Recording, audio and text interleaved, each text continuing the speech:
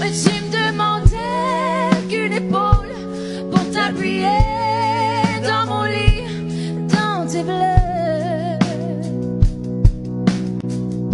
Moi c'était facile dans ma tête, où je pouvais dormir et peut-être rêver mieux.